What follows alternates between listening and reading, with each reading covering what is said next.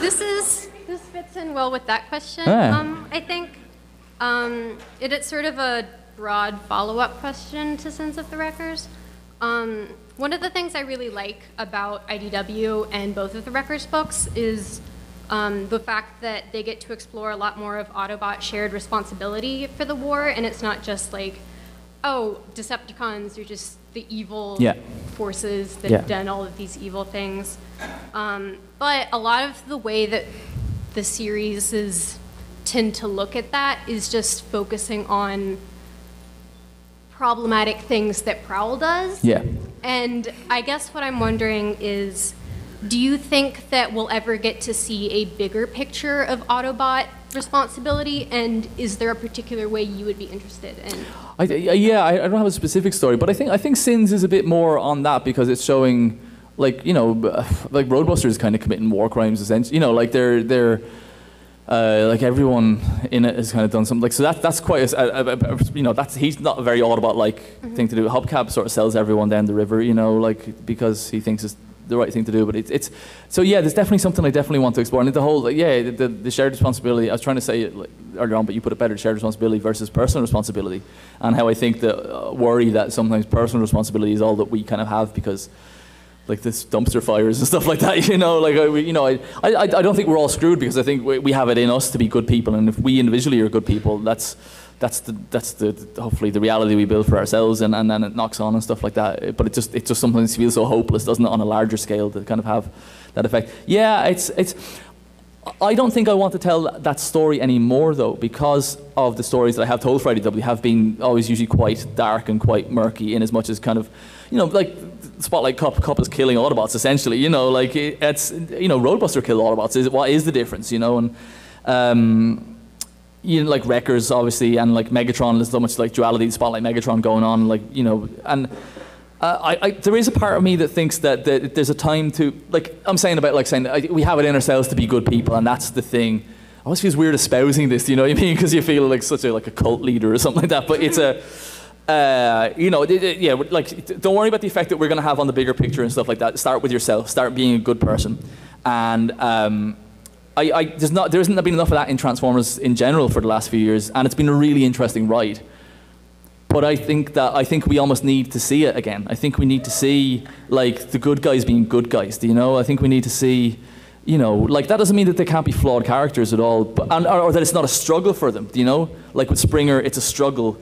With Impactor, it's a struggle, and he's not winning. Do you know? Like he's he's falling down, the, and it's it's it's it's not even. Um, necessarily morals essentially that's kind of dragging Impactor back to a warlike way. It's also kind of he likes he doesn't know any he doesn't know how to be anything else. Do you know what I mean? That like he Impact, Impactor is being seduced by violence again. Impactor has known only violence. Impactor lives through violence and, and expresses himself through it. Like he's he has got no compunctions about doing these bad bad things.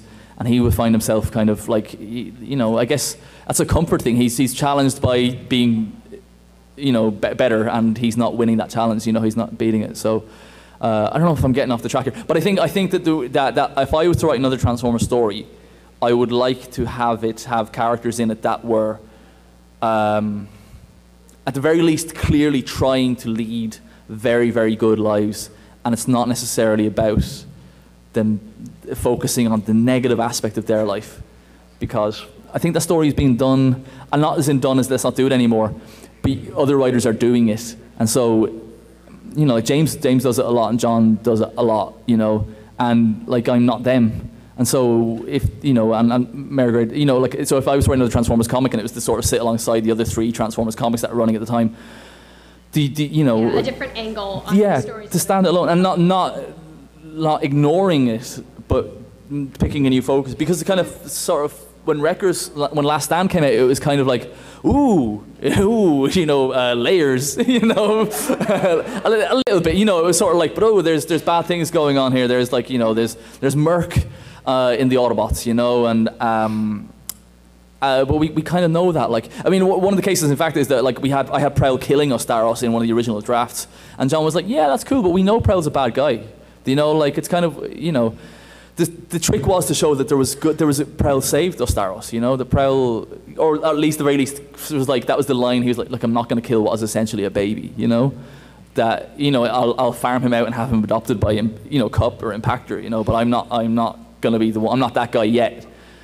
But that's a sign that Prowl has it in him, you know, and does have it in him to be sort of like, ah, screw it, I'm an Autobot, you know. Like it's it's it's kind of not not what I do, or not, you know, or I've done enough bad things. Let's try and put a few on this pile, you know. Is any of this making sense, or or, or answering it really? Yeah, I mean, I think that I really appreciate that movement in your goals for comics. Yeah. I think that the issue I have Yeah. is to do sort of with like the way that Megatron's trial, for example, Yes. is framed. Yeah, yeah, yeah. Oh, here are all of the Autobot claims of Decepticon war crimes. Yeah. I know it's sort of framed Yes. in a particular way. Yeah, yeah, yeah, yeah.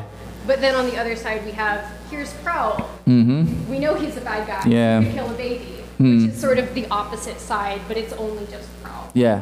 So Yeah. that's sort of where my issue lies. I guess, yeah. It is, it is yeah. I mean, uh, for me personally, I, I get to work with small casts, I suppose, you know, and so it's, it, I, hon- like, I honestly don't know. Like I said, if, I think if I was working with a bigger cast, time to go? Okay. You're getting very close. Uh, work with a bigger cast, uh, you maybe there, there should be more doing it. But then, I, like, I think, I almost think that, it's not that I, I, I definitely think that story should be told. And I definitely want to read that story. But I think to test myself as a writer, of like, are the Autobots a bit dodgy? Yeah, they are, but we know that. So, because I've written those stories, like, you know, can the Autobots be sort of aspirational? Let's try and write that story for a while and see how it goes. Chances are it'll be boring. But, uh, but it's a really good question, and we should definitely talk about it more. But thank, thank you. Yeah.